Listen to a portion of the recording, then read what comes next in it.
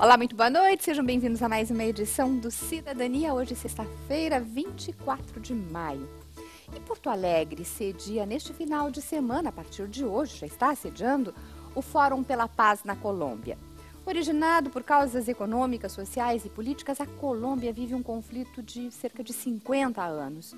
Mais de 5 milhões de camponeses já foram deslocados das suas atividades, 60 mil pessoas estão desaparecidas, agressão aos direitos humanos, mulheres vítimas de agressão sexual, assassinatos são registros praticamente diários nessas últimas décadas.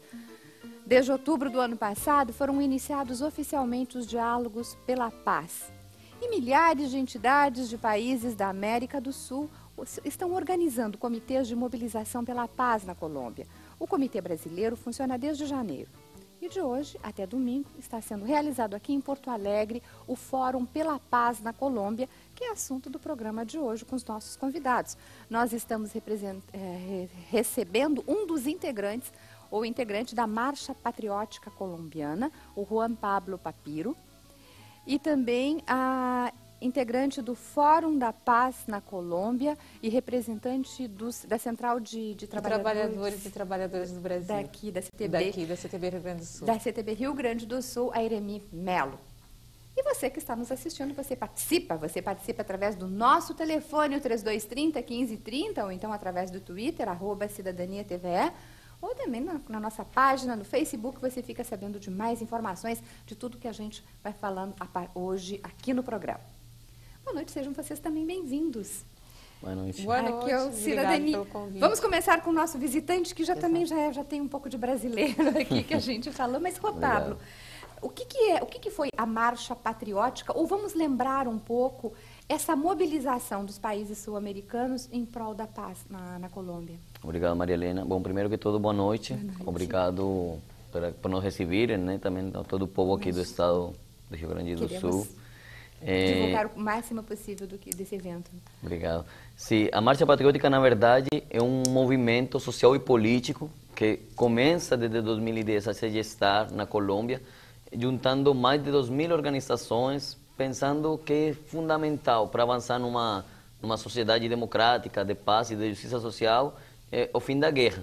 E começam a se articular todas essas mais de 2 mil organizações, com muitas mobilizações na rua, e com a construção de propostas diferentes para uma nova, uma nova democracia na Colômbia. E aí temos contado com o respaldo de muitas organizações brasileiras, argentinas, uruguaias e de outros países.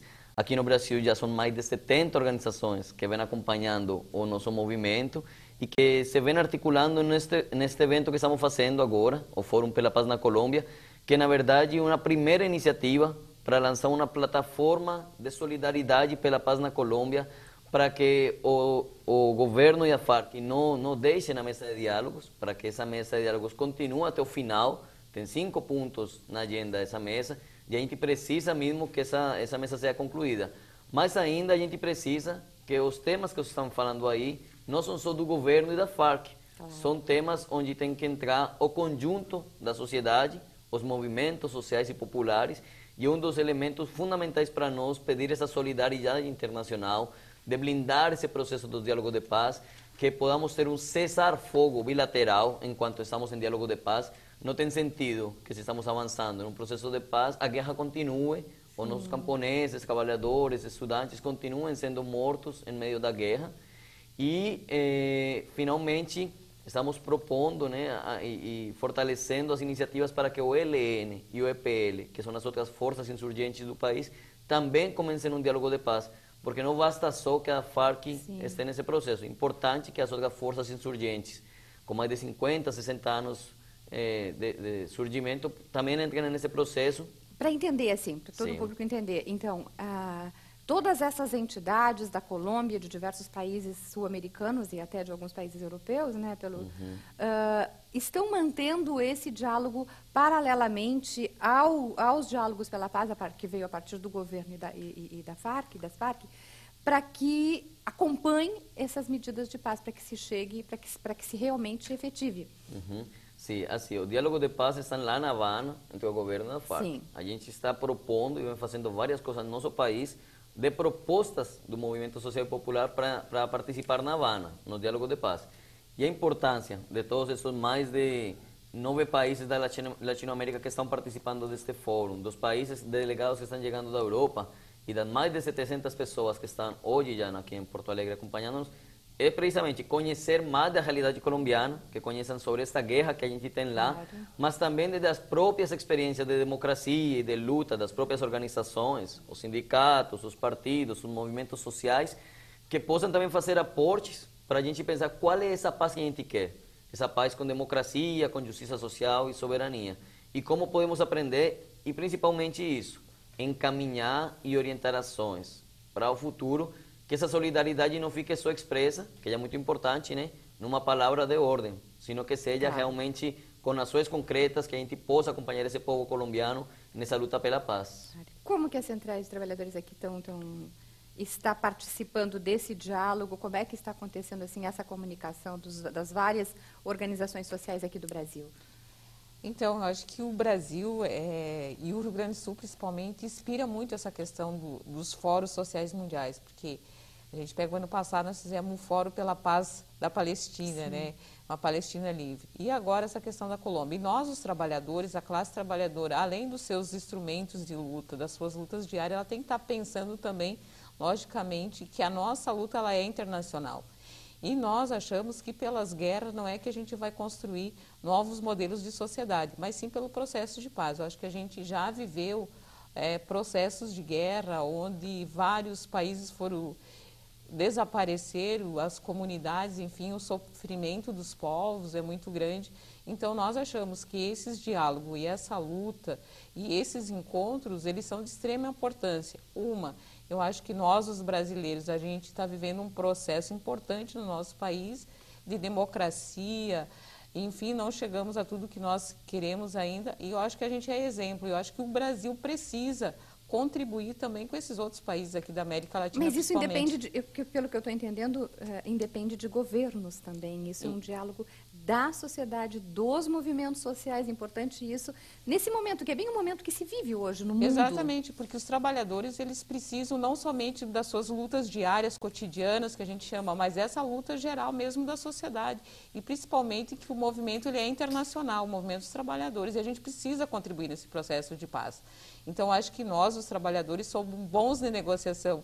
Então, por isso, a nossa contribuição nesse processo é muito importante. E eu, eu acredito que nós aqui no Rio Grande do Sul vamos estar contribuindo e muito. Porque por mais que a, a, tenha a CTB, tem a Central Única dos Trabalhadores também que está participando, uhum. tem as outras centrais que não estão diret, tão diretamente, mas também participam, contribuindo com pessoas para estar participando. Então, eu acho que isso é um processo de construção nossa. Uhum. E é importante o debate, né? é importante o conhecimento. E como foi organizado esse fórum, que começou hoje, durante o dia, e agora, neste momento, está está ocorrendo assim, a, a grande a abertura, abertura, oficial isso. Na Assembleia Legislativa. É importante saber, porque todo mundo está aberto à participação de, todo, de, todos, de todos que quiserem né, acompanhar. Uh, como é que foi organizado este fórum? Vocês têm linhas, né, de linhas temáticas de, de atuação de debates? Sim, muito rapidamente. Aqui no Brasil, a gente começou a articular o capítulo da Marcha Patriótica da Colômbia no Brasil, com colombianos no São Paulo, Porto Alegre e Rio de Janeiro, desde julho do ano passado. E aí começamos a gestar esta proposta deste Fórum pela Paz. E já para janeiro... Ah, eh, eu falei em janeiro. Isso. Não, porque já em janeiro foi a primeira reunião de articulação Sim. nacional, eh, onde conformamos o comitê né, das organizações onde está o CTV, mas muitas outras organizações. A gente começou com uma articulação de mais ou menos 30 organizações, hoje são mais de 70 organizações em todo o Brasil que vêm acompanhando esse processo. E a gente se dividiu um trabalho por cidade e depois também conformamos comitês organizadores na Argentina, no Uruguai, na Colômbia. Então, vem toda esta força de articulação continental para aqui, para Porto Alegre. A gente tem três eixos principais que foram debatidos hoje à tarde. A gente acabou de sair dessas mesas, que era uma, uma espécie de abertura de discussão, né? É, em termos dos eixos transversais do fórum todo, que é a democracia, a paz com democracia, a paz com justiça social e a paz com soberania. Agora a gente está lá na abertura, ainda podem chegar lá para a abertura do, do fórum. E depois vamos a ter um show pela paz. Vamos a contar com vários artistas ah, brasileiros, vamos a contar com Daniel Viglietti, que é um histórico da, das Daniel lutas é latino-americanas. É hoje mesmo. Hoje, hoje, hoje depois das 8 da noite, estamos lá na Assembleia Legislativa no auditório. Daqui vamos para lá, né? Para uhum. acompanhar. E amanhã vamos a ter mesas setoriais. Então, mulheres, educação, juventude, trabalhadores, os próprios parlamentares, terra e território, militarização, porque entendemos que o tema da Colômbia e as questões da Colômbia não só competem para a Colômbia. Tem um assunto aqui que é muito importante. A solidariedade com o povo colombiano é fundamental para este processo. Mas, além disso, a importância geoestratégica da Colômbia eh, para a América Latina, pela questão da, da ingerência dos Estados Unidos, da militarização, que corre, põe, põe em risco não só o nosso país, mas também os processos dos, dos países mais democráticos, mais progressistas. Uhum. E isso é uma clareza que acho que tem, inclusive, todos os governos da América do Sul, da América Latina, mas especialmente o povo e suas organizações, né? Depois das mesas setoriais, que a gente vai ter amanhã, desde 9 da manhã Sim, até Mulheres 14 pela horas. Paz, Educação e Paz, Juventude, Isso. tu já falaste, Terra e Território, Trabalhadores e Sindicalismo. Militarização. Isso. E aí, sim, aí depois parlamentares, direitos humanos, militarização. Isso. E durante todo o dia. E depois os diálogos dos movimentos populares com a mesa de diálogo. Como é, é que é isso? Aí vamos fazer uma videoconferência. A gente mandou um pedido, tanto para a delegação da, das Farc, da guerrilha da Farc e do governo, para eles virem e mandarem delegados para participarem. Sabíamos que era difícil que a Farc pudesse participar, Sim. mas esperamos que o governo eh, entendesse a importância desse espaço e chegasse.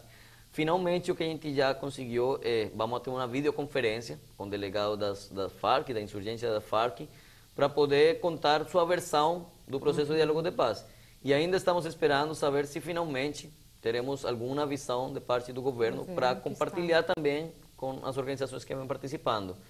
É, se, e vamos a ter um esquema aqui de, de, de, de, telecomunicação de tal maneira que o povo que está participando, as é pessoas que estão participando, possam fazer perguntas e possam interagir eh, com, com a delegação da FARC e tomar a do governo. E depois dessa teleconferência, vamos ter uma, uma mesa que para nós é muito importante, porque são perspectivas do processo de paz e que é uma mesa que vai estar na cabeça de Piedade Córdoba, que é uma mulher de luta histórica no nosso país, que tem sofrido na sua carne própria perseguição do, do, do governo do Estado da Colômbia e que hoje inspira o, o, a luta das mulheres, dos negros, mas de todo o povo colombiano nesse caminho da paz, né? Então vamos estar com ela para pensar essas perspectivas e já no dia domingo, com base, tendo, tendo como referência todos os debates das mesas, vamos fazer uma assembleia onde vamos levar a síntese dessas mesas, vamos a propor uma declaração final mas a diferença, porque é importante esclarecer que eh, este fórum está no marco de um, de um fórum social, né? Uhum. Eh, muitas organizações que vêm nos acompanhando fazem parte de, do fórum social, mas é um fórum eh, autônomo em termos de que é um fórum pela paz na Colômbia, não está inscrito dentro do, do Fórum Social Mundial. E isso permite que a gente não vá ficar só numa declaração eh, de boa vontade. A gente eh, pretende e está trabalhando com as organizações para tirar orientações e propostas concretas de articulação. E essas propostas ficarão aonde? Tem disponibilizado na internet? Não, estamos construindo essas propostas nas mesas. Por isso estamos Sim, esperando que as pessoas cheguem. Não, claro, quando saiam as propostas, uhum. quando tenhamos a declaração, vamos a publicar. A semana passada estivemos na assembleia, na primeira assembleia continental do Movimento Sociais ao Alba e foi votado por toda a assembleia como tema prioritário a questão da Colômbia e da Venezuela. Então a gente tem certeza que este ano, que fica deste ano e o próximo ano vai ser um, um ano de muita luta e de muita ação continental pela paz na Colômbia. Com certeza. A gente já volta. Tem ainda, tem ainda que a gente tem que dizer, tem que documentários, filmes, né? Temos. Vários que serão apresentados aí no domingo. Depois a gente volta a falar, porque agora é hora da gente falar sobre, quer dizer, da gente não, da Mariana Bairro falar sobre acessibilidade. Boa noite, Muito Mariana. boa noite, Helena, convidados. Pois é, hoje eu trago uma dica bem importante na área da educação. É um programa, o programa Incluir, que ele possibilita a permanência e o acesso de alunos com deficiência nas universidades federais. Ele funciona em diversas universidades federais em todo o país, mas mais especificamente aqui no Rio Grande do Sul, na URGS, eu conheço o trabalho deles de perto. Eles possuem diversos serviços e trabalhos de adaptação, desde o, desde o acesso da pessoa à universidade, acessibilidade arquitetônica, com rampas, construção de pisos, tá, pisos táteis, enfim, uma série de adaptações e também adaptações de materiais pedagógicos, materiais didáticos que vão ser utilizados em aula. Eles possuem serviço de intérprete de Libras, os intérpretes uh, vão estar presentes na sala de aula, nos congressos, atividades extra-classe, enfim, sempre que for necessário. Também adaptação de material didático para alunos com deficiência visual, seja em braille ou em fonte ampliada. Ah, essa questão da fonte ampliada é bem importante, né, Helena? Porque as pessoas com baixa visão terem, terem acesso também a diferentes tamanhos, enfim. Inclusive, essa semana está havendo um curso especificamente para descrição de imagens estáticas com a professora Lívia Mota, que veio de São Paulo ministrar um curso aqui. E esse curso, ele capacita os bolsistas para descreverem imagens, gráficos, tabelas, mapas, porque as pessoas com deficiência visual não têm acesso e essa descrição de forma de forma de qualidade é essencial. Porque Tem uma técnica toda para essa com pessoa certeza. transmitir, né? Senão a pessoa pode ter uh, dificuldade, seja numa prova ou para compreender as próprias atividades em sala de aula, né? Nas disciplinas mais exatas, ligadas a graduações, principalmente matemática, física, imagina, gráficos, tabelas, você precisa descrever de uma forma clara e objetiva para que a pessoa entenda. Então esse curso está dando formação para os bolsistas trabalharem com essa questão da descrição de imagens estáticas, bem importante, e o programa Incluir como um todo está se preocupando com acessibilidade na URGS, seja para os alunos, estudantes com deficiência, também para professores e servidores que tenham alguma necessidade de adaptação. Então, eu acho que essa é uma excelente notícia, o programa já existe há mais tempo, mas agora está com uma maior demanda. São 26 alunos atendidos hoje, antigamente, né, Helena, é eram muito poucos. As pessoas deficientes estão demandando mais, inclusive nas universidades. E o que eu achei legal isso é que eles eles estão eles familiarizam, né, para as pessoas que estão chegando na universidade, Certamente. o ambiente universitário. Eles têm esse serviço também de guia vidente. A pessoa com deficiência visual não conhece o campus, então ela é não, apresentada por um bolsista que circula por todas as dependências, que é muito complicado. Você chega num lugar novo, precisa ser apresentado aquele espaço, conhecer os obstáculos, enfim. Então tem esse serviço de guia vidente e ele incentiva também a tua autonomia. Ele não vai estar sempre contigo, mas nas primeiras vezes ele faz o trajeto até que a pessoa aprenda e depois possa circular sozinha. Então, Lena, eu acho que é uma boa dica para quem pensa em fazer vestibular ou para quem quiser mais informações. O programa Incluir fica ali na rua Paulo Gama, número 110, no anexo 3 da reitoria, no térreo. Então, quem quiser mais informações, pode mandar e-mail também para programaIncluir.urgs.br. Tá certo. Mais dicas? Fim Temos uma dica para amanhã também, Lena. Uma dica na área da história. Quem se interessa, pela, eh, o evento é a Revolução de 1923. Vai acontecer no Museu Hipólito da Costa, Museu da Comunicação. Uma atividade bem, bem interessante que começa às três da tarde, vai até às seis horas. E vai, vai contar com um filme, primeiramente. O filme que apresenta a Revolução do Rio Grande do Sul. Depois uma mesa redonda, enfim, diversos debates sobre esse assunto. Entrada franca. Amanhã, ali no Museu da Comunicação, que fica na Rua dos Andradas, número 959. A partir das três horas você é convidado. Quase esquina com a, bem na esquina com a Calda Júnior. Exatamente, ali no centro. Tá, certo. Obrigada, As, Mariana. Tudo estará no nosso Facebook, Lena. Tudo na nossa página do facebook.com barra cidadania TVE. Vai lá, curte e obtém todas as informações, os dados aí, os, os endereços todos que a Mariana tão bem falou. Obrigada, então. Até, até a próxima. Que vem, no fim de semana. Igualmente. E a gente faz agora um rápido intervalo, já voltamos. De hoje até domingo, Porto Alegre cedia o Fórum pela Paz na Colômbia, que é assunto do programa de hoje. Os nossos convidados são integrantes da Marcha Patriótica Colombiana, Rua Pablo Papiro, e também a integrante do Fórum pela Paz na Colômbia, a Eremi Melo. A gente falava no bloco anterior, então assim falava um pouco dos eventos, né? O que, que houve hoje de tarde, amanhã, o que, que vai acontecer no domingo. E eu queria assim que vocês explicassem mais assim as pessoas que vão participar, de que forma elas podem se integrar a esses movimentos, de que forma elas podem saber mais sobre a Colômbia até, mas também uh, dar as suas opiniões, que a sua opinião também possa valer. Então, acho que todas as pessoas que tiverem interesse em participar é importante. A gente está recebendo as inscrições na Assembleia Legislativa, ali no saguão do Dante Baroni. Nós temos o material que a gente pode divulgar e as pessoas podem se dirigir às oficinas temáticas que a gente vai estar realizando amanhã de manhã, das 9 às 11 e das 14 às 17h30. Então, os, os temas que a gente vai estar desenvolvendo a partir da manhã é a questão do sindicalismo e a paz, a questão de, de mulheres Uma coisa eu ia te perguntar, movimento de mulheres? Sim, as mulheres estão envolvidas. Até né, nesse processo aí, nesse debate, vai estar a Socorro Gomes, que é uma das, das ela, da, da, instituição que trabalha a questão da paz, a Marcha Mundial de Mulheres, a União Brasileira de Mulheres vão estar uhum. nessa mesa, A Federação Internacional dos Direitos das Mulheres também vai estar nessa mesa. Então, o debate vai ser com várias personalidades. Essas são as personalidades aqui do Brasil, mas além delas, tem as, as internacionais também. Vai ter uma madre da Praça de Maio. Da Praça de Maio, de que vai estar aqui também. Então, é importante. Então, todos a- os, os moradores, os trabalhadores, os sindicalistas que quiserem e deverão participar, a gente está convidando mesmo, se dirige à Assembleia Legislativa, que lá todas as informações vai ter pessoas à disposição para informá-los. Os locais, os horários, os temários, todos. Podem ficar com plena confiança de participar. Por exemplo, da comissão de, da delegação que vem de Rio, vêm não só pessoas e militantes de organizações e movimentos, partidos de muita trajetória.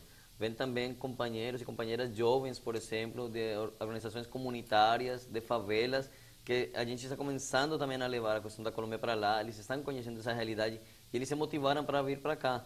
Então acho que é importante falar que sim, que é um espaço aberto para todo mundo, para eh, para todo mundo poder escutar e para todo mundo poder participar e aportar como melhor nessa construção por, por uma nova Colômbia. E assim como vocês terão as videoconferências, esse é o resultado assim de- desse trabalho, ou pelo menos os principais tópicos, serão enviados ao governo da Colômbia e à à- à- FARC? Sim, a gente tem vários, várias propostas já trabalhadas nos pré-fóruns e nas reuniões de articulação nacional e internacional. Aí, entre as propostas que temos, uma é conformar uma comissão que leve o que seja a nossa declaração e as propostas concretas que vão sair daqui do fórum para a mesa da Habana e que possam levar para lá e ter um Que é fórum onde com ele, está havendo é onde está o- havendo esse o diálogo de paz com o governo e a FARC. Além disso, a gente está construindo a proposta de ter algumas comissões com respeito, por exemplo, ao tema de direitos humanos, a situação das mulheres, dos presos políticos. No nosso país temos mais de 9.500 presos políticos, dos quais mais do 90% são civis, não são eh, pessoas que foram pegos na, na guerra, sino que são estudantes, trabalhadores, camponeses, indígenas organizados. Então a gente quer comissão de direitos humanos que possa ver qual é a realidade da, da direitos humanos lá, dos camponeses, do, dos indígenas, e a partir daí também fazer um relatório e que isso possa servir de insumo para o processo de diálogo de paz. E temos várias outras propostas que estamos construindo de jornadas continentais de mobilização para respaldar essa, essa luta do povo colombiano. E a- esse fórum tem, vai ocorrer em outras cidades? Tem a, existe a possibilidade de continuar, além Esse de Porto Alegre? Paz, É. é, a proposta, eu não sei se vamos continuar como fórum, pela, Sim. fórum pela mesmo, mas a proposta é que se consigamos A fechar... marcha está vindo, mas É, a- a ideia é que podamos fechar qual vai ser o mecanismo para dar continuidade a este processo. A gente entende este fórum como uma primeira, um primeiro passo para essa articulação continental. Juan Pablo Eremi, muito obrigada pela presença de vocês hoje aqui. Muito obrigado a que seja vocês. um sucesso do fim de semana. E nós, além de fazermos, de estar lá presente, de fazer a cobertura, depois vamos continuar, vamos prosseguir e vamos ver aí como, como, é, como que estão se dando assim todas essas negociações e o trabalho que vocês estão fazendo aí, né, de, de complementação. Muito, Muito obrigada, obrigado. mais Obrigada, uma vez, obrigada até a uma vocês. próxima e o